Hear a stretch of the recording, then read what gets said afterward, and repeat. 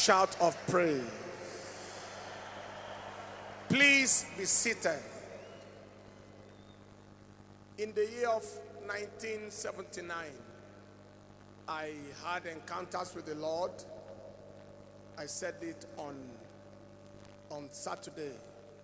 God's servant Pastor Adeboye was in Utupo then, 79, 78 and 79. A young man, we came up, but like young men, we just got influenced away again and just sla- slacked down. But in the high institution in 1986, my life was going in a particular direction. And one night of the 12th of May of 1986, around 2 a.m., my heart was beating so fast. And I had some, think a visitation, and the voice told me, If you die now, where are you going? I said, I don't know where I'm going. He said, But you can know now. Long story made short, within two hours, between 2 a.m. to 4 a.m., I rededicated my life to Christ, gave myself over to God in that 1986. It was on the campus, and I began to look for which fellowship. And um, I had a brother, I have a brother who is still a member of Deeper Life Church here today. And I remembered how he has invited us to Deeper Life several times. And then I looked forward to Deeper Life Campus Fellowship. And I went to the campus fellowship, cleaned the chairs before the others arrived, and then stood outside and began to usher people who were old members of the, of the fellowship. And they were looking at me, wondering, which old usher is this? And this was my first time. I ushered them all in and then became a very fervent member of the Deeper Life Campus Fellowship. We will, we will, we will take buses from the campus to the church in town every Sunday. I became a member of the Deeper Life Choir. I, I was involved here, involved there. And I'm saying all this to let us know that some people think that when they see a person, he just happened. No, sir. We have a history. We have a history. We didn't just happen.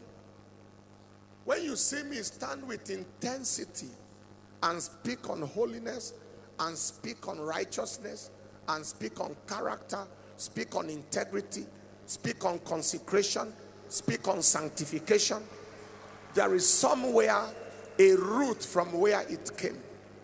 It- there's no way it can live. I tell people, I said, the challenge we have in our generation today is that many ministers just came into the gospel without the foundation of holiness, character, sanctification. They just met the prosperity gospel in the middle. And as a result of that, there is so much that is going on. And what you don't know, you can't tell another person. Where you have not been through, you cannot pass another through.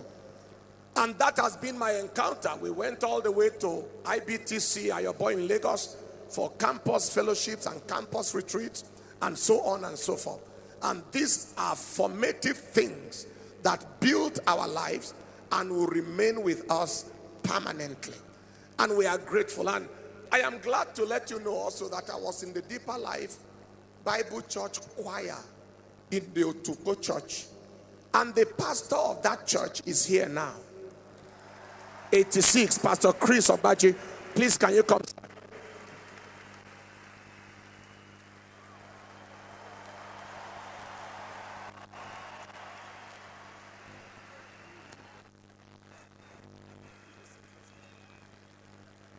This was my 86 pastor, Deeper Life Bible Church.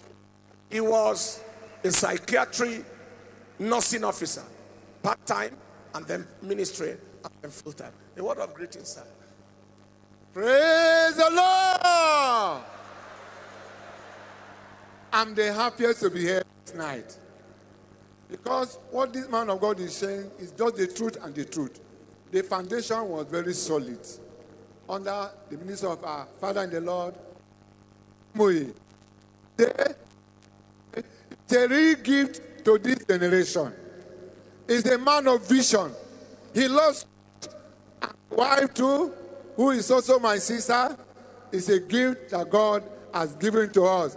I want to say what God is doing is marvelous in our eyes. And like the Archbishop say, the greater to come. God will take you higher, the glory of His name, and be our portion in Jesus.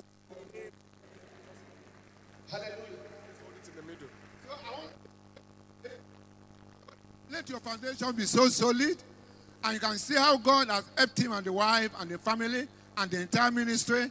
And we are seeing this as the Lord's doing. And God is going to bring millions of souls into his kingdom through this ministry in the name of Jesus. My earnest prayer is that as you come here, don't just come here to just see side. You dedicate your life to Christ. The Lord wants to use you as He's using them. And I want to assure you, this day is a remarkable day and it's going to be a turning point that you can never forget in your life in Jesus' name. We give all the glory to the Lord. God bless. His identity is love himself. That is the word pastor is his definition. Heart for people. And we appreciate and love you, sir, in Jesus' precious name. Having said that, we want to bring our father up.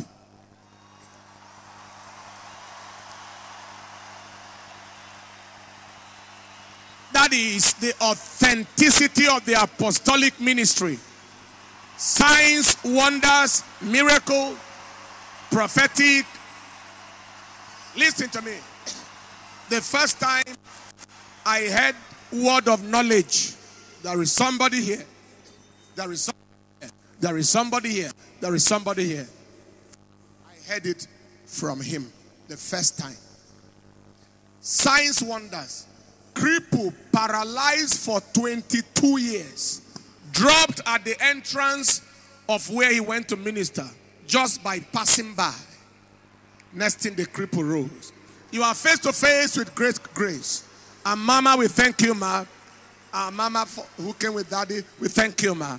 And Pastor Hassan, who was Deeper Life Pastor in Abuja, here we were together in Abuja many years ago.